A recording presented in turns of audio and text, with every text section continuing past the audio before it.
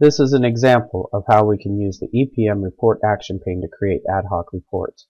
We begin by dragging the account dimension down to the row axis and the time dimension down to the column axis to instantly create a report. You will see there's no longer a report code area within the Excel sheet. The report starts in column A and in row 1. Double clicking you can drill down into the accounts in the rows and the time in the columns. Notice the ability to drill into columns while other columns remain intact on the report. This is a new feature in 10.0. Here we can also drag dimensions directly onto the Excel sheet to place them exactly where we want them. The dimension ID flashes green letting the user know that Excel recognizes that this is a valid BPC dimension ID.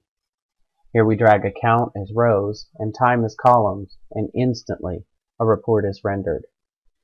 We can use standard Excel formatting to format the report. Double-clicking again gives us the ability to drill down. BPC instantly recognizes the structure of a basic report, that rows are on the left and columns are at the top. Using this intelligence, the report writer instantly understands what the user is trying to produce. Even nesting rows with another dimension such as company is instantly understood by the report. Another way BPC 10 makes ad hoc reporting easier is its ability to recognize user input directly, just by typing something that BPC recognizes as a member ID or a member description. BPC will take that information and start to produce a report. When BPC finds an ID or description that could have multiple values, user is presented with a message box where they then clarify for BPC what ID or description they intended. Here in this example, we see that branch shows up both as a company code and an intercompany dimension, and the user is asked to clarify. Again, with the system knowledge of rows on the left and columns on the top, a report is instantly rendered. BPC also recognizes that any member IDs or descriptions above the columns are page values. So instantly, numbers in the report then represent those values. For this example, we type in cash as an account, then we switch it to inventory, as you see the numbers update, and finally we identify the currency, US dollars, which then it switches from euros to US dollar values. Finally, the last option to create a report is using the report features of the EPM toolbar. The user can click New Report and from here set the options for rows, columns, and page dimensionality. Again, drag and drop functionality is used to define rows, columns, and page dimensions. Finally, clicking OK will render the report. Once the report is created, you can then edit the report from the menu options. You can see that all the advanced options and features of creating a report are within this tabbed window, creating more sophisticated reports.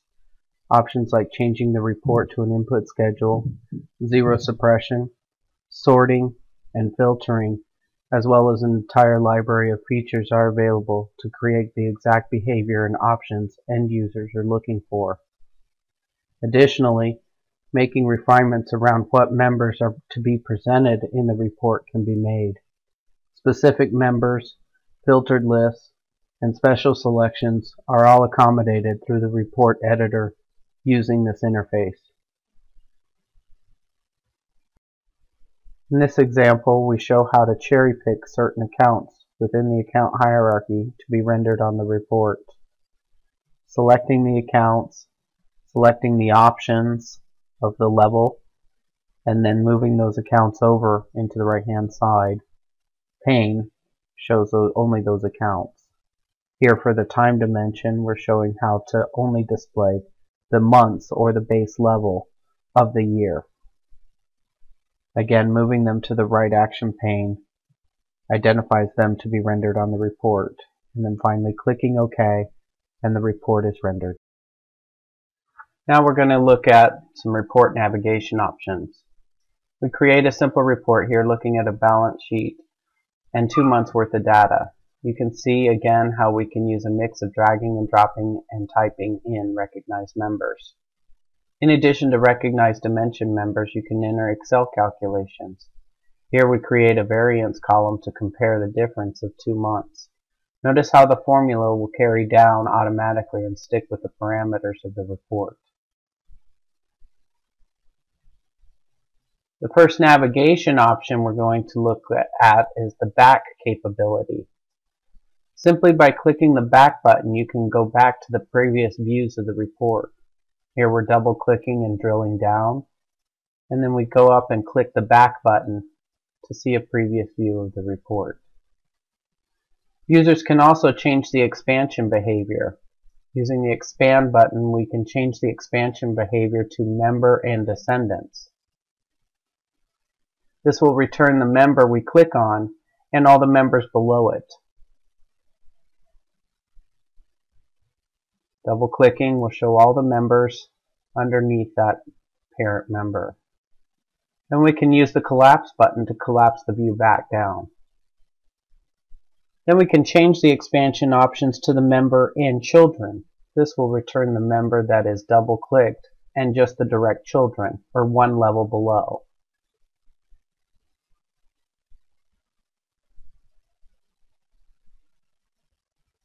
Again, we can use the collapse option to go back.